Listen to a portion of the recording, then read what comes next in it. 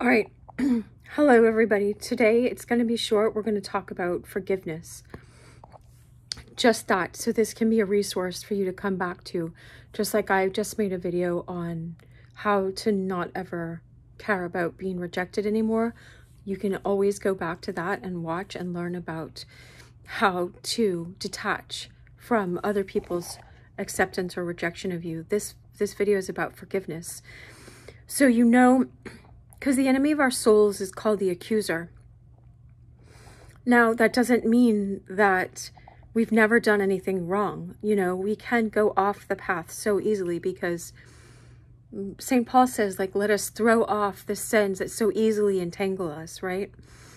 But shame from our childhood and programming in our childhood will keep taking us back to over accusing ourselves and that you know, this despair that we, we can never be forgiven. And so I have this book.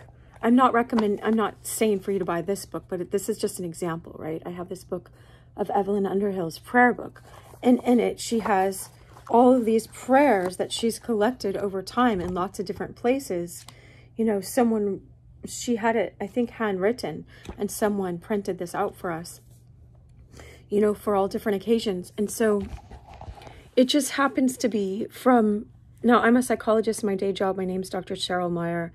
And i just want you guys to have all the resources you need to live a full spiritual excuse me a spiritual life um you know for this life and the next uh to get the psychological detachment and health that you need and also spiritual because we're souls here and our souls have a high purpose and you're meant to be a hero in your life and not give your power away let's say to narcissists and to pleasing other people and all of those things. But um so i'm just going to share with you right now. I have it i i i have it over here. I i sent it to my ipad this morning so that i could read it for us right? And it's just prayers of forgiveness that i found over time and I'll do my best to put it in the top comment on my YouTube channel. So if you're anywhere else, sometimes I don't have the time to put it all everywhere else. So just go to my YouTube because then it'll be there. I'll put it at least in one place, right? If it's not in the description, it'll be in a long comment that I pen to the top. So this is from uh, Jean-Pierre de Caussade, Abandonment to Divine Providence. I think he wrote it in the 1600s or 15 1600s, I think. Yeah. He was a Jesuit priest and good, good. So prayer for forgiveness and protection. And so this is an ellipsis. He says, the effects will be experienced. So you ask God to forgive you. The easiest prayer that you don't have to make this complicated. Our minds love problems. Our egotism loves to make it complicated. Do not make this complicated. The easiest prayer and the one you can always go back to is Lord Jesus Christ, Son of God, have mercy on me. Lord Jesus Christ, Son of God, have mercy on me. And Jesus taught us this when he told us of the two men that went up to pray. And um, one was like, I'm so glad I'm not like that person who does this, this, and this. And the other one was like, didn't want to even raise his head. And he's just like, Lord Jesus Christ, God, have mercy on me. Or just, he just said, God, have mercy on me, right? But the other is a blind man that wanted to see. And so he's crying out, Jesus Christ, Lord Jesus Christ, Son of David, have mercy on me. But this is Son of God, and there's a book called The Way of the Pilgrim that that teaches about it. Lots of saints have taught about that prayer. Just keep it simple. Psalm 23 The Lord is my shepherd, therefore I lack nothing. God be my shepherd. God, teach me, lead me on the right way. Help me see the right way. Help me not be deceived by the hardness of my heart or by the sins that I've fallen into. Sin is just to miss the mark of perfect love. Help me get back into high consciousness and surrender everything and go back on my soul path. I was in a prayer meeting this morning and he was talking about attrition is what Saul had. He just didn't want to get in trouble, you know, and he um, went off and he kept taking the shortcut. You know, repentance is when you take self responsibility and you say, God, I'm sorry. I have hurt these people. I have hurt myself. I have not acted in highest consciousness and highest love. show me what that is. I, I surrender everything to you and I only want the will of God. You know, um,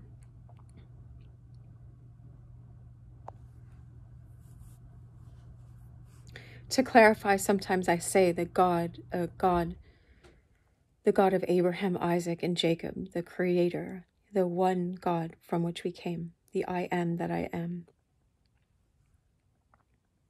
Anyway, so here's prayer of God's forgiveness and protection. So Jean Pierre de Caussade says, effects will be experienced eventually, effects that God hides from the soul at the time for its good. Therefore, bear yourself as a criminal in God's presence, in his presence, and as a victim of his merciful justice. This is the best attitude for a soul in this state. Adopting any other, it would never find peace. This apparent destitution and abandonment has but one aim, which is to increase self distrust and to compel the soul to cast itself with greater confidence into the arms of God. It sees no other help, and even that it cannot see. Faith and faith alone must suffice without any other support. The sensitive part of the soul can do nothing to affect the will, the will, and God expects nothing from it but the free choice of the will, which has complete mastery over its acts. The best disavowal of the temptation is the extreme horror of its attacks, right? No good can be attained by making a multitude of acts. These would only serve to trouble and fatigue the soul. It had best keep to the following act, which comprises all that is required of it. Here's the quote, here's the prayer Lord, you are all powerful and goodness itself. It is for you to defend me and to preserve me from all evil. That is beyond my power. I accept this suffering for love of you. Only keep me from all sin. Afterwards, let it remain in peace in the midst of the storm. It will find itself strengthened without knowing how by the hidden hand of God. That's from Jean Pierre de Caussade, Abandonment to Divine Providence. You can go to the Psalms. You know, you can always count on the Psalms not to mislead you. Because when you get like this and you can't even trust your own self because your own self betrayed you, because you took a lower path again because you didn't know your real worth, right?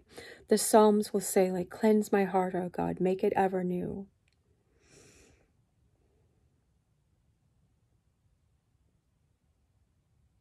Yea, this is Psalm 23 again. Yea, though I walk through the valley of the shadow of death, I will fear no evil, for you are with me. Your rod and your staff, they comfort me. You, you prepare us a table in the presence of my enemies. You anoint my head with oil. God always wants to bring us back to true love, highest love, highest consciousness, the highest path again of our soul. All right. And so um, he says, um, Jean Pierre de Caussade still said, the chief principle of the spiritual life is to do everything, interior as well as exterior, peacefully, gently, sweetly, as St. Francis de Sales so often recommends, right? And so here's from the prayer book, the 1928 Book of Common Prayer that Anglicans have used for a long, long time. It came from, I don't know, uh, the Book of Common Prayer from the 1500s or before that, right? It's just a group of prayers that they got from verses. So you guys can look up the verses and put them in the comments as well if you'd like. It says it's prayer for forgiveness. It's called a prayer for forgiveness. O Lord our God, if during this day I have sinned, whether in word or deed or thought, forgive me all, for thou art good and lovest mankind. Grant me peaceful and undisturbed sleep, and deliver me from all influence and temptation of the evil one. Raise me up again in the proper time that I may glorify thee, for thou art blessed, with thine only begotten Son, and thine all Holy Spirit, now and ever, and unto ages of ages. Amen. Oh, that said it's from the Antiochian uh, evening prayers. But okay, so um, this is a prayer from Brother Lawrence, who wrote Practicing the Presence of God. I recommend that. He said that um, the greatest pains or pleasures of this world were not to be compared with what he had experienced of both kinds in a spiritual state, so that he was careful for nothing and feared nothing, desiring but one only thing of God, viz., that he might not offend him. That he had no scruples, for he said, When I fail in my duty, I readily acknowledge it, saying, I am used to do so. I shall never do otherwise if I am left to myself. If I fail not, then I give God thanks, acknowledging that it comes from him. And so this is from our the 1928 prayer book. This says the collect for the day. 21st Sunday after Trinity is this one, if you want to look it up. But it says, Grant, we beseech thee, merciful Lord, to thy faithful people, pardon and peace, that they may be cleansed from all their sins and serve thee with a quiet mind, through Jesus Christ our Lord. Amen. And then there was the prayer for forgiveness. And then um, one one more. I have this collect from Whitsun Week, Monday and Whitsun Week. I just copied it from there from a long time ago. Send, we beseech thee, Almighty God, thy Holy Spirit into our hearts, that he may direct and rule us according to thy will. Comfort us in all our afflictions. Defend us from all error and lead us into all truth, through Jesus Christ our Lord, who with thee and the same Holy Spirit liveth and reigneth, one God, world without end.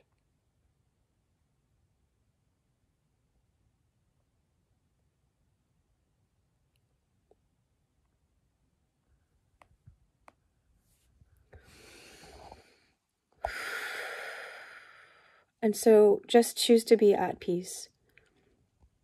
And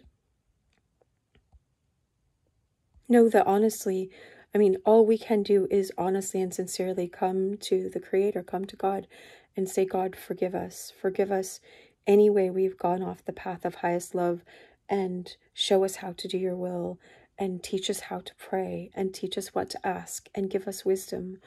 You know, you just come in humility, um, just like a little child that broke a window, you know, by playing ball or something, you know or even if they meant to break the window, whatever it is, just come to God and say, I'm sorry, I don't know. I don't know what's in me. Reveal it to me as you wish. And God will, over time, purify your heart. Just keep coming back and keep coming back.